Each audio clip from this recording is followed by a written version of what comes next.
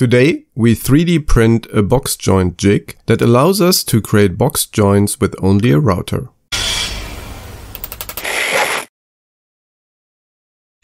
Box joints are a strong and nice looking way to create boxes.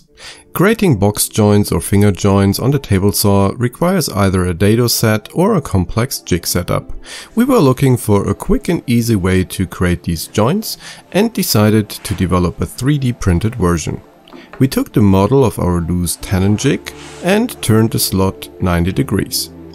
All you need is a router, a straight router bit, a guide bushing, the 3D printed jig and a clamp. If you don't have a guide bushing at hand, we will link to another video that shows you how to 3D print a custom guide bushing. With the guide bushing riding in this slot, we can route the first finger. The pin on the underside then registers in this slot and we can continue to create more fingers.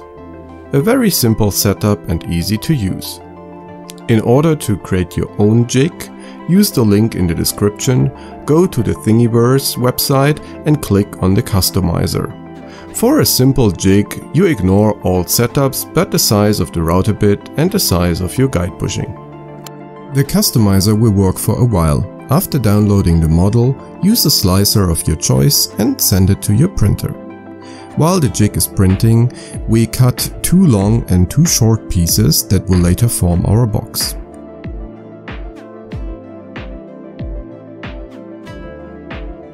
All the top sides are marked.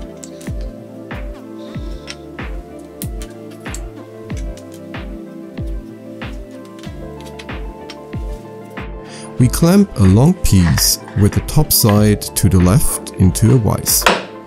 The jig is then put on top of the wood. The registration pin on the underside is pressed firmly against the upper side of the longer piece of wood. We then clamp the jig in place.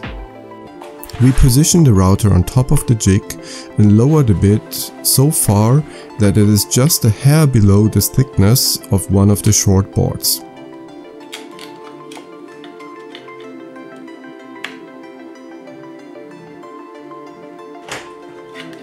With the guide bushing riding in the slot, we route the first finger, then move the jig to the next slot and continue till we reach the end of the board.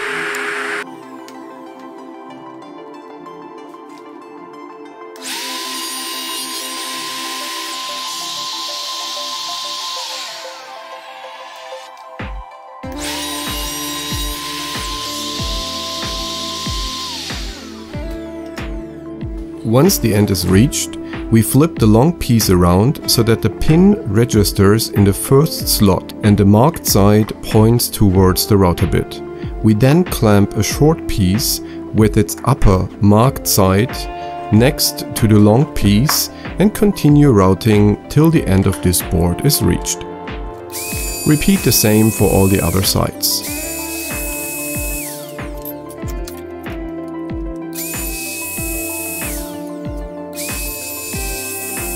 When all the sides are done, we have a very snugly fitting box joint.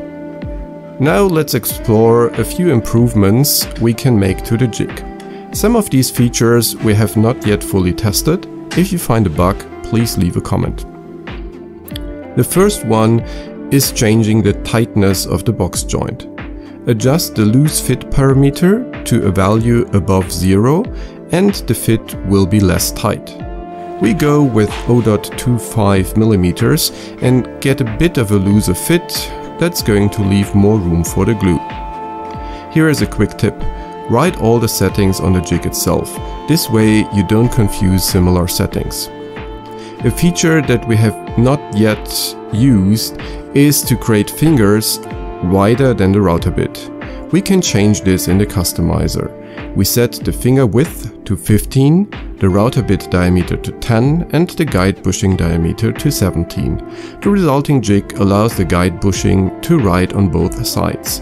The resulting fingers are wider than the router bit. If we set the support value to anything above 0, the jig gets supporting triangles on the backside that increase the stability.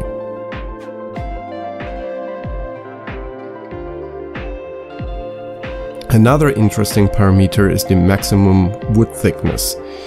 We use a max thickness of two times our material thickness so that the resulting registration pin is long enough that we can use two boards at once. This way we can cut the routing time in half. The only thing left is that it is still quite a bit annoying to move the jig after each cut. Depending on the size of your print bed, there is an easy solution. We set the number of slots to 3 in the customizer. The model now has 3 slots, which is going to accelerate the routing of the box joints even more. This obviously is going to work only if the guide bushing diameter close to the router bit is chosen. When the difference gets too big, these supports would break. With a large enough print bed, you could create a jig to route all the slots of a box joint at once. This jig shows another neat use for the 3D printer in the woodworking shop. Have a look at our other 3D printed jigs, don't forget to subscribe and follow us on Instagram for a look at future projects.